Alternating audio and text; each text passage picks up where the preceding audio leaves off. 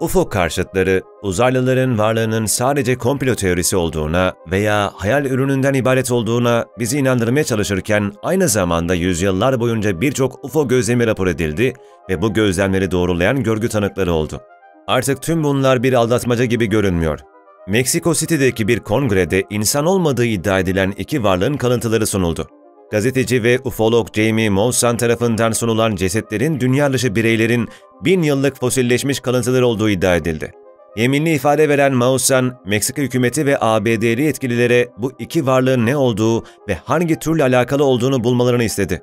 UFO uzmanı olarak tanımlanan Mawson, iki ceset dünyaya ait değil, bizimle aynı yaşamsal evrimi geçirmemişler açıklamalarında bulundu. Uzaylılar evrende var ve artık bunu kanıtlayacak her şey mevcut. Bugün reddedilemeyecek UFO kanıtlarını keşfedeceğiz. Çünkü artık biliyoruz ki gerçek dışarıda.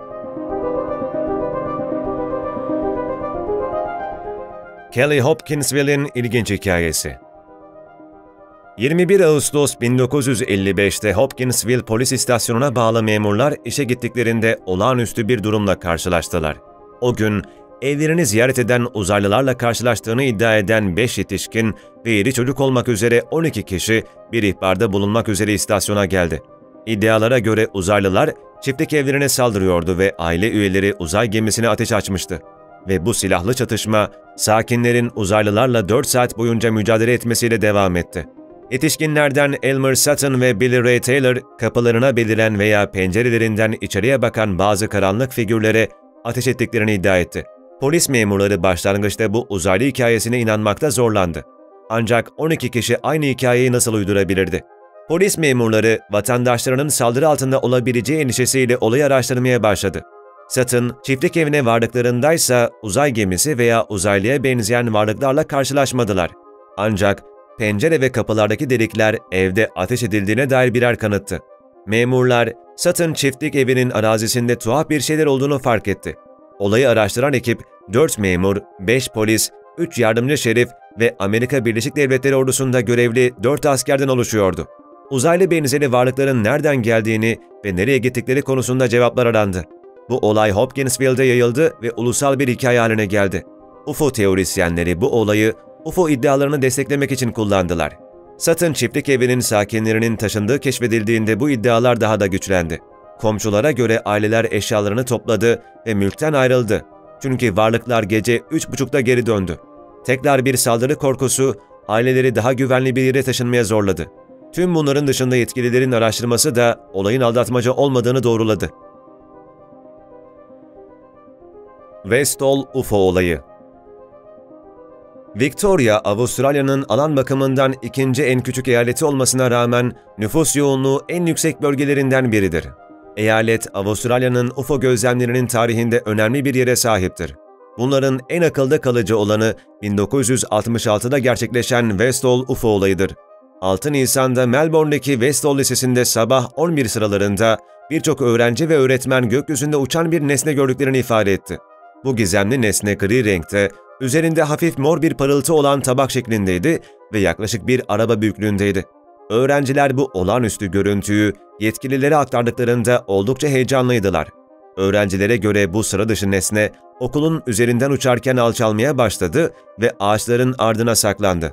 Nesnenin kaybolduğunu düşünen öğrenciler bir süre nereden geldiğini tartıştılar. Ancak 20 dakika sonra nesne yeniden belirdi ve hızını artırarak kuzeybatı yönünde uçtu. İlginç olan bazı tanıkların bu nesnenin ardından beş diğer tanımlanamayan nesnenin geldiğini belirtmeleriydi. Birçok kişi bu uçan nesnenin bir uzaylı aracı olmadığına inansa da UFO uzmanları bu konuda hemfikir değil. UFO araştırmacıları bu nesnenin Avustralya'ya askeri operasyon gerçekleştirmek üzere geldiğini fakat düşman hava araçları tarafından geri püskürtüldüğünü düşünüyor. Ne yazık ki nesnenin üstüne geri dönüp dönmediğini ya da düşman araçlarının ona yetişip yetişmediğini bilmiyoruz. Lakenheath Bentwaters olayı Birleşik Krallığın Kraliyet Hava Kuvvetleri ile Amerika Birleşik Devletleri Hava Kuvvetleri arasında uzun yıllardır süregelen bir ortaklık bulunmaktadır. Bu işbirliği yalnızca faaliyetlerle sınırlı kalmamıştır. İnanması zor olsa da her iki ulusun hava kuvvetleri arasında ortak bir UFO deneyimi olduğunu öğrenmek sizi şaşırtabilir. 13 Ağustos 1956 gecesi Doğu İngiltere'deki bazı hava üslerinin radarları tanımlanamayan uçan nesnelerden sinyaller aldı. Akşam saatlerinde Bentwaters askeri üssünün radar operatörleri yaklaşan gizemli bir hedefi tespit etti.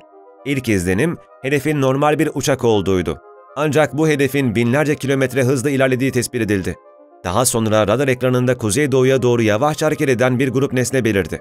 Bu nesneler kuzeye doğru hızla hareket ederek ekranın dışına çıktı.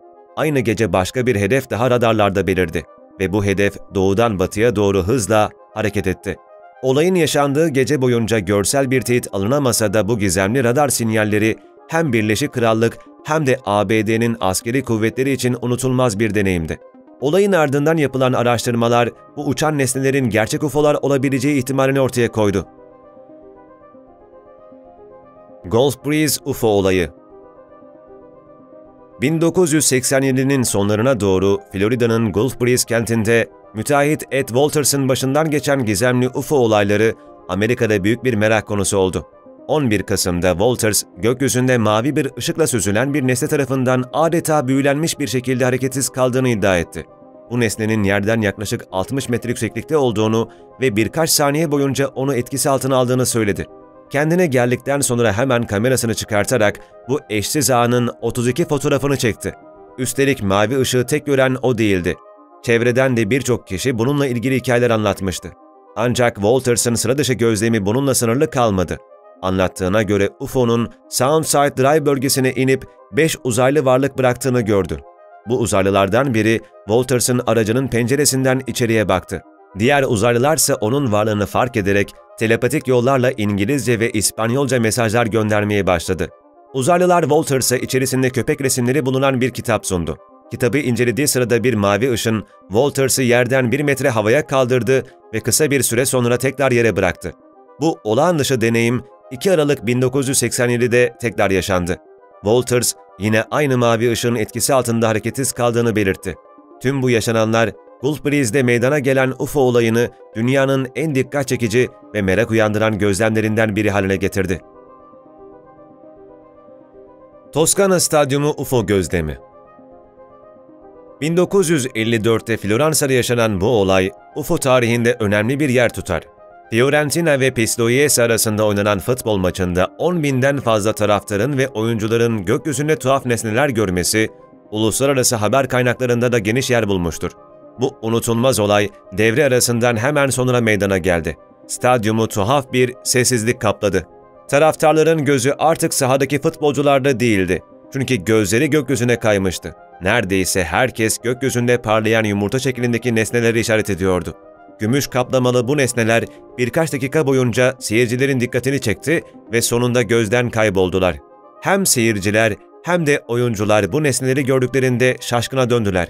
Çünkü daha önce böyle bir şey görmemişlerdi ve neredeyse herkes bu nesnelerin uzaylılara ait olduğuna hemfikirdi. Bu tür toplu gözlemler UFO olgusunun ciddiye alınmasında önemli bir rol oynamıştır.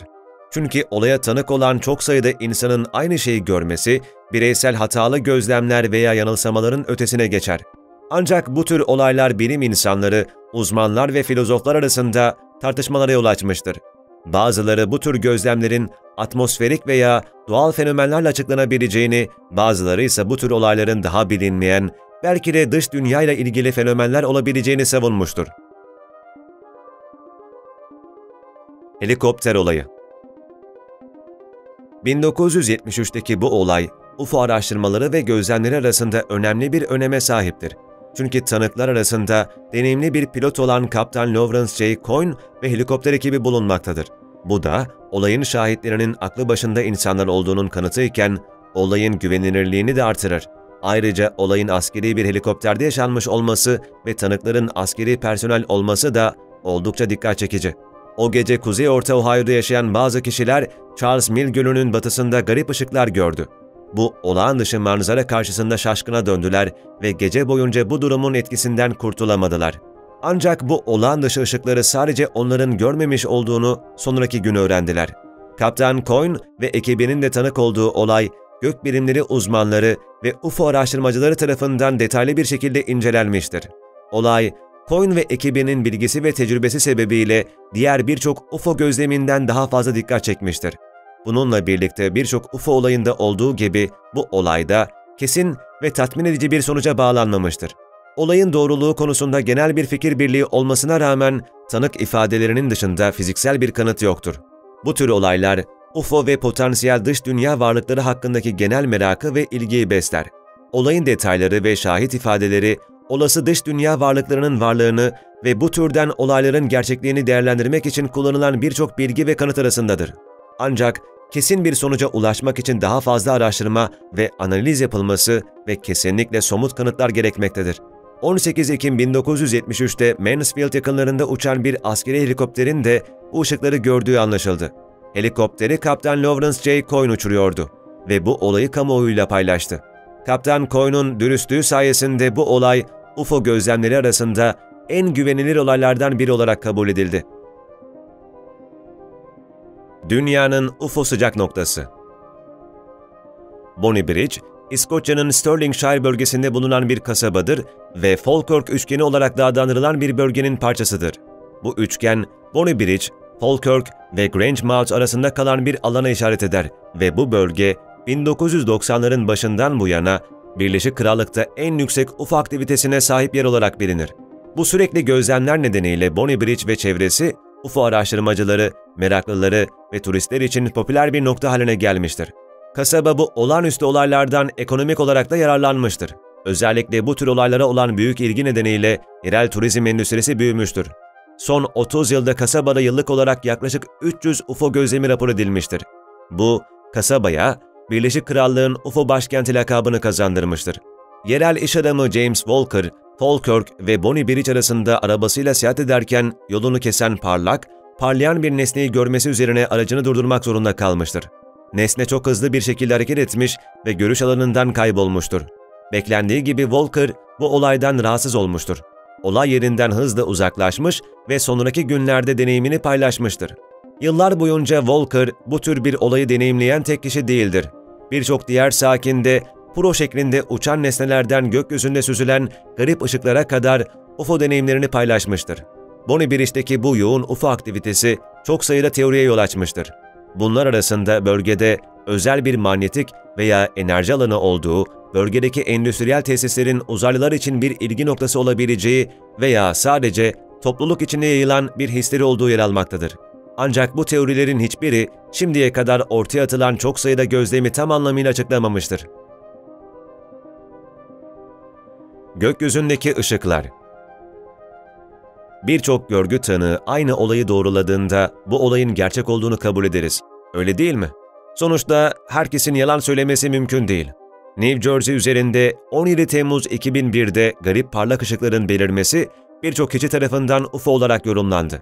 Bazı şüpheciler bunun bir aldatmaca olabileceğini savunsa da New Jersey sakinlerinin çoğu bu düşünceye katılmıyor. Joe Malveja gibi tanıklar gördükleri şeyin inanılmaz olduğunu belirtiyor. Bu ışıklar gökyüzünde belirip kısa süreliğine orada kaldıktan sonra sırayla kayboldular. Birçok kişi bu ışıkların uzaylılarla ilgili olabileceğini düşünüyor. Çünkü bu ışıkların neden veya nasıl ortaya çıktığına dair net bir açıklama yok. Dikkat çeken bir diğer husussa Carter Polis Departmanı'ndan Teğmel Daniel Tarrant'ın da aralarında bulunduğu birçok yetkilinin bu ışıkları gördüğünü doğrulaması. Tarrant ve diğerleri ışıkların altın turuncu renkte olduğunu, bazılarının V şeklinde dağıldığını bildirdi. Aslında bu olay hakkında polise en az 15 farklı kişi bilgi verdi. Hem görgü tanıkları hem de yetkililer bu garip ışıkların kaynağını belirleyemedi. Bu da olayı çözülemeyen UFO vakaları arasında özel bir yere koyuyor. Stephen Hill manzaraları Yüzyıllardır insanlığın varoluşunun başlangıcından bu yana uzaylı varlığının gerçek olabileceğine dair birçok kanıt ortaya atıldı. 2008 Stephenville gözlemleri bu kanıtların en çarpıcılarından biri olabilir. 2008 yılının Ocak ayında Texas'ın Stephenville kentindeki birçok kişi gökyüzünde beliren devasa bir UFO'yu şaşkınlıkla izledi.